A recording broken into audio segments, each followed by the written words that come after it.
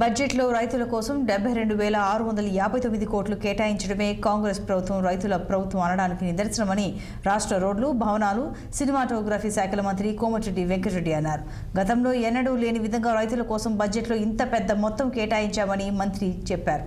రైతు రుణమాఫీకి ముప్పై ఒక్క వేల కోట్లు కేటాయించామని తెలిపారు. అలాగే దక్షిణ తెలంగాణలోని ప్రాజెక్టులకు పెద్ద ఎత్తున నిధులు కేటాయించడం జరిగిందని మంత్రి కోమటిరెడ్డి తెలిపారు. స్కిల్ డెవలప్మెంట్ యూనివర్సిటీకి రెండు నెలల్లో టెండర్లను పిలవనున్నట్లు మంత్రి చెప్పారు. ఐబీఎం తరహాలో స్కిల్ డెవలప్మెంట్ను ఏర్పాటు చేయనున్నట్లు మంత్రి తెలిపారు. మనం అందరం ఎదురు చూస్తున్న దక్షిణ తెలంగాణలో ఎస్ఎల్బిసి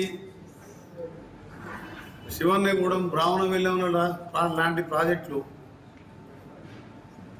ఒకవైపు పాలమూరు లాంటి ప్రాజెక్టులు ఖమ్మంలో సీతారామ ప్రాజెక్ట్ లాంటి పూర్తి చేయడానికి ఈసారి దక్షిణ తెలంగాణకు పెద్ద ఎత్తున నీటిపారుదల రంగంలో ఇరవై రెండు వేల కోట్ల బడ్జెట్లో ఎక్కువ శాతం నిధులు ఈ మూడు జిల్లాలకు ఇవ్వడం జరిగింది. అది ప్రాజెక్టు వారిగా మీకు పంపిస్తాము. మనం అందరం ఎదురు చూస్తున్న దక్షిణ తెలంగాణలో ఎస్ఎల్బిసి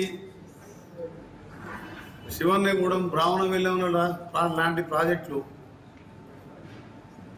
ఒకవైపు పాలమూరు లాంటి ప్రాజెక్టులు ఖమ్మంలో సీతారామ ప్రాజెక్ట్ లాంటి పూర్తి చేయడానికి ఈసారి దక్షిణ తెలంగాణకు పెద్ద ఎత్తున నీటిపారుదల రంగంలో ఇరవై రెండు వేల కోట్ల బడ్జెట్లో ఎక్కువ శాతం నిధులు మీ మూడు జిల్లాలకు ఇవ్వడం జరిగింది. అది ప్రాజెక్టు వారిగా మీకు పంపిస్తాము.